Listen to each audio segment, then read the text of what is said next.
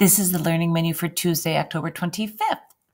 And we are going to work on multi step word problems with area and perimeter. For science, we're going to do a tectonic plate investigation using sand, and um, we're going to learn about convergent, divergent, and transform tectonic plate movement and what landforms they cause and create. We'll go to art, and then Miss Alexa will be do- doing our um, social emotional learning lesson. I'm not sure what the topic is this week, but it'll be wonderful. For writing, we're going to work on um, the main event. And in literacy, it's Mega Words 2Q and um, Zoe in Wonderland Part 1, the second day. And then after lunch and recess, it's chorus and fourth grade collaboration.